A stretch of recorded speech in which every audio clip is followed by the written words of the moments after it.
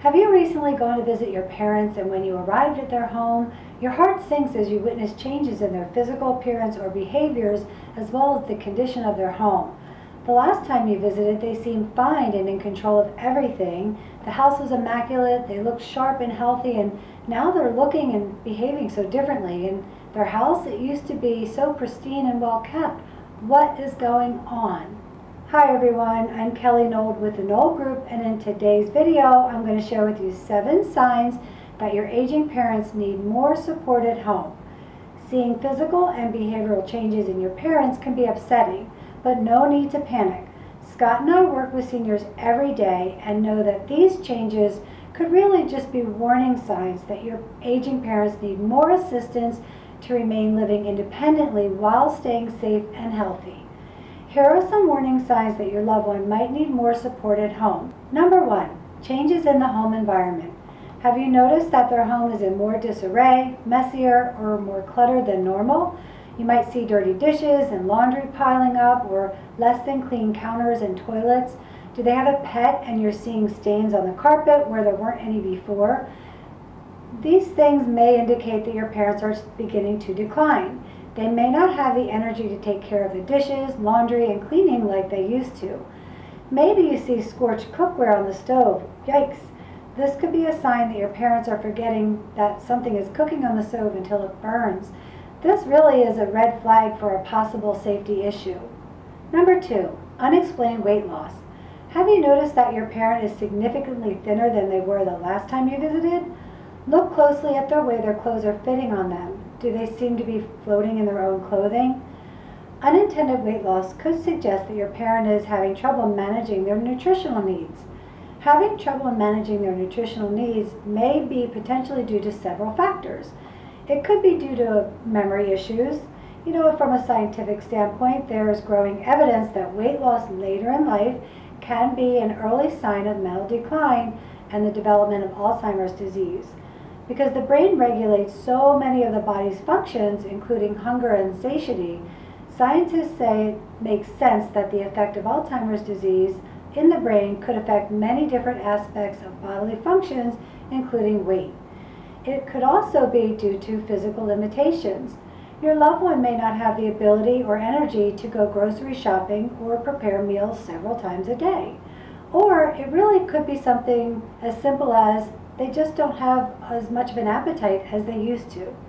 Number three, medication mismanagement. Are you seeing unused or expired medications? Are they having a hard time remembering to take their medications as prescribed? Many seniors are taking upwards of three different medications, each coming with their own set of dosing instructions, which can be overwhelming for your parents. If you are there with them over the course of a few days, do a stock check to see if the right number of pills have been used. This will help you gain insight into whether your aging parent is taking the right dosage of, dosage of medication on a regular basis. Number four, unopened mail and unpaid bills. Does it look like their mail is piling up, much like the laundry and dishes in the sink? You might see late payment notices, an expired registration on their vehicle, or an expired driver's license. Unpaid bills and expired licenses or vehicle registrations could be signs that your parent is slowing down cognitively.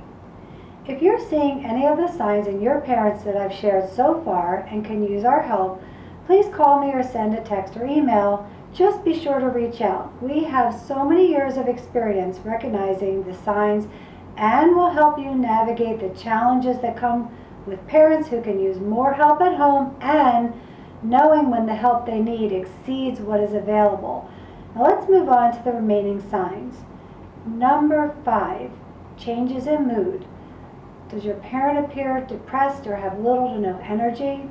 Are they irritable or easily agitated? Have they withdrawn from social activities or family interactions? Changes in mood and personality can be indicators of an underlying health issue such as dementia or depression, which really may require professional assessment and intervention. Number six, physical frailty. Have you noticed that your parent who normally likes to take walks, golf, or is typically involved in other activities has started to slow down or not do these things at all? If your parent is struggling to walk up and down stairs, demonstrating an unbalanced gait while walking, or sitting in one spot for hours and then experiencing pain when they stand up, those could be signs or symptoms of medical problems and should be addressed. Number seven, possible abuse. Have you noticed suspicious bruises, binding marks, and burns, withdrawal from friends or usual activities? How about anger, hyperactivity, or even suicidal thoughts or attempts? Maybe changes in appetite or depression? It's important to pay close attention to physical, behavioral, and living environment for signs that your loved one might be suffering from abuse, neglect, or exploitation. And if you suspect that there is something happening to your loved ones, you can report it by calling the Department of Elder Affairs for the state of Florida.